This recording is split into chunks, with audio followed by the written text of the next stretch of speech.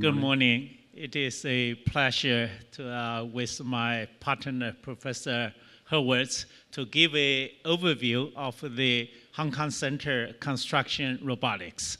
Uh, construction is a very traditional industry, you know, more than thousand years old, and uh, probably you don't see much change over, you know, 200 years or so and uh, until very recently, we do see some machines, uh, cranes being introduced. But uh, you know, with advance in robotics, in AI, we do believe now is opportunity to introduce a major change to this uh, traditional industry. So we would like to highlight some of the challenges the industry face in Hong Kong, China, US, and uh, elsewhere. So, um, of course, uh, this is a very significant portion of our economy. 4.3% of the GDP in China is 25%. And uh, we employ more than 600,000 workers, and there is a shortage of workers. China size 100 times uh, that in Hong Kong. And of course, uh, everybody complains the rising housing cost that is due to the labor and the material, etc. And the, of course, uh, government is very ambitious to introduce uh, a lot more units in the next five years.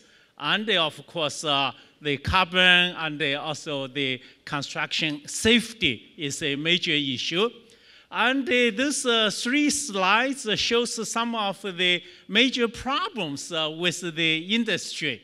Okay, and uh, of course, uh, we do see that uh, over the last uh, 10 years, the automotive industry has gone tremendous change in terms of uh, renewable energy, autonomous uh, driving. So we do see hope for the construction industry.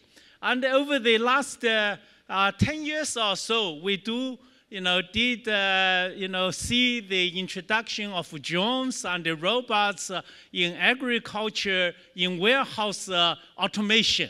So we like to do the same for the construction industry.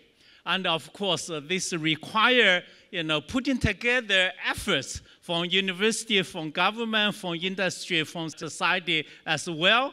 And uh, those are the four areas that uh, we you know, decided to focus on survey inspection, construction planning and design, flexible prefabrication, and the on-site uh, automation.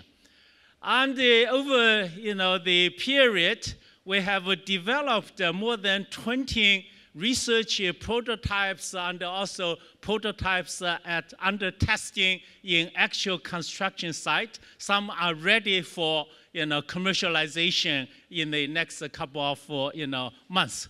So those are examples of some of our uh, prototypes or pseudo products being deployed in real uh, uh, sites in factory and also in you know construction site. And of course, uh, some of our technology are also being uh, faster uh, deployed during the COVID period.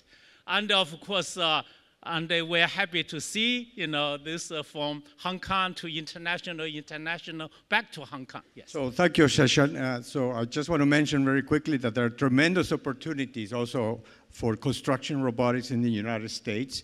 And at Berkeley, we are helping our Hong Kong partners developing uh, flexible fabrication, uh, smart sensors, and, and uh, learning systems for constructions, for on-site constructions.